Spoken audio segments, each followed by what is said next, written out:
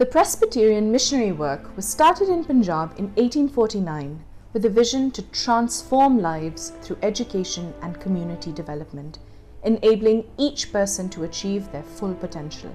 Education is the only hope for Pakistan when nearly 25 million children are out of school. In 1972, the government of Pakistan nationalized the schools due to national reform.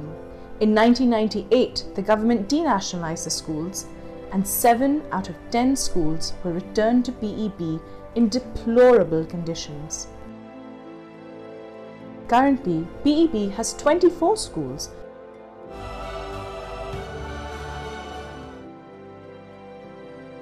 with 19 new buildings.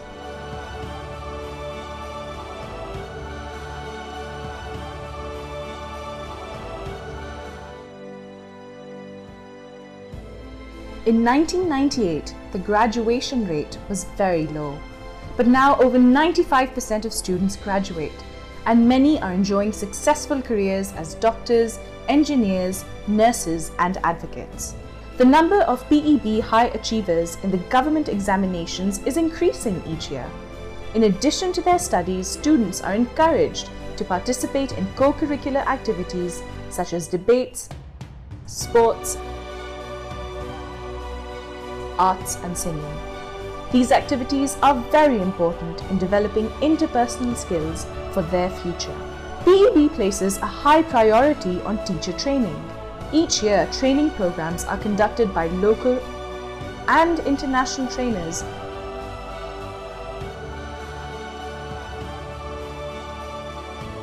for improving teaching methodologies and experiences.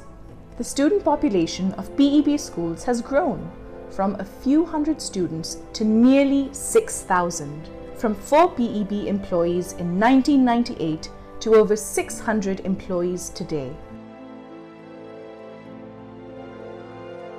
The Presbyterian Education Board schools are recognized for providing quality education.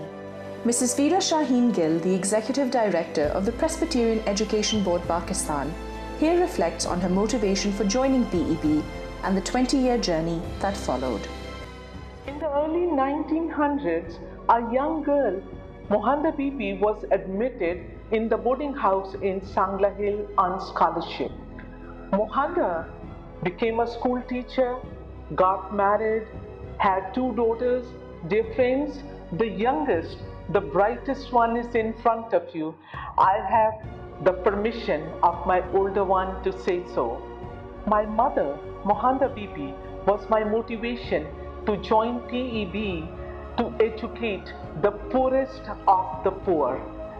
The last 20 years of denationalization has been a story of patience, persistence, perseverance, and prayers. It is a story of God's grace and it is a story of miracles happening in Pakistan and it is a story of God's people joining hands, working together to bring a positive change in Pakistan.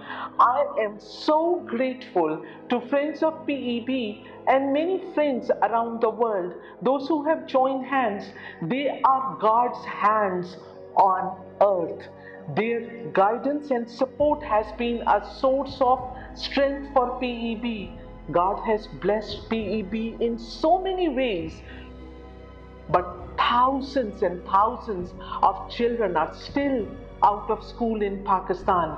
We envision providing education to as many children as means can allow us. Dear friends, please join hands in educating the children in Pakistan. We strongly believe education is the key to bring about positive change in Pakistan and around the world. May God bless you all. May God bless Pakistan. Pakistan, Zindabad.